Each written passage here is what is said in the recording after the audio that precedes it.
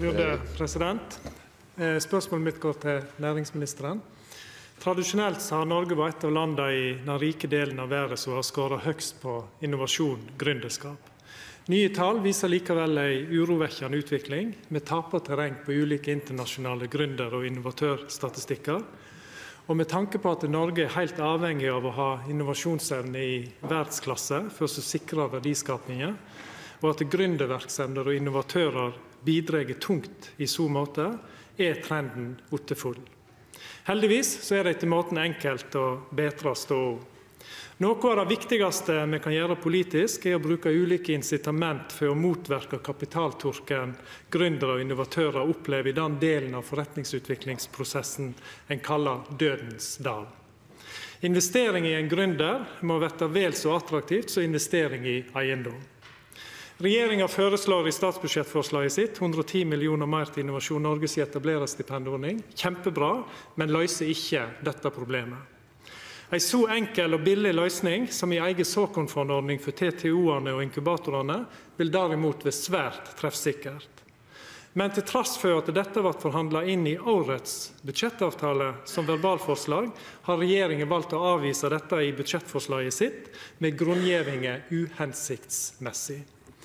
President, både for Venstre og alle aktørane som etterspør eit sånt tiltak, så vil det vera svært interessant å høyra kva regjeringa og næringsministeren underbyggjer ein slik påstand med. Statsråd Monica Mæland.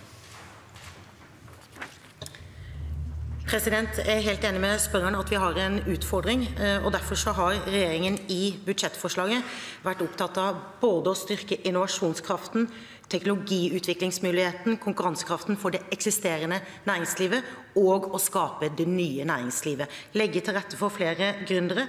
Det gjør vi når vi styrker etablerertilskuddsordningen, når vi styrker miljøteknologiordningen, når vi styrker BIA, Forny 2020, når vi styrker de teknisk-industrielle instituttene, når vi eh, styrker eh, flere programmer i SkatteFUNN eh, som nettopp skal bidra til ny teknologi, utvikling av næringslivet vi har i dag, og legge til rette for gründerne. Så er vi helt enig i behovet for såkornkapital. Og det er jo nå eh, i år rullet ut to såkornfond som akkurat har eh, eh, funnet medinvestorer i privat sektor, og som nå skal begynne å investere i virksomheter. Vi har valgt og prioritert enda tidligere fase, nemlig etablerertilskuddsordningen, som kommer enda tidligere enn når man har startet en bedrift.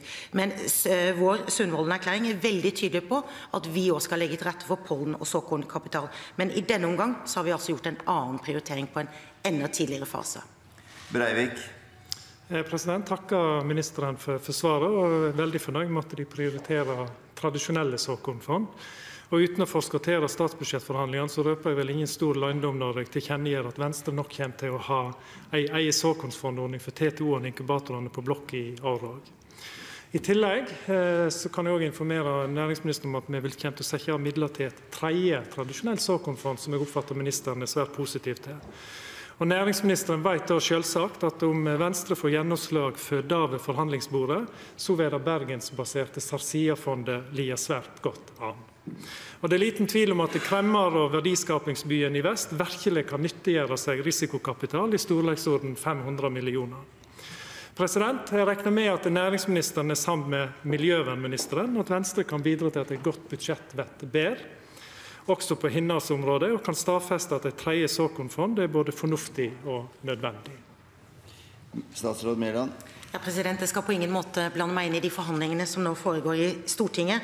Eh, Men vi har fått eh, innspill på ulike eh, såkornordninger, som representanten her viser til. Vi er opptatt av å se på de ulike ordningene. Det finnes andre måter å gjøre dette på enn den tradisjonelle. Eh, Og vi ser også på veldig mange andre områder hvor gründer trenger hjelp. En gründerplan som gjør at vi kan ha en helhetlig gründerpolitikk. Det er vi helt enige om at det er veldig viktig hvis vi skal skape det nye næringslivet.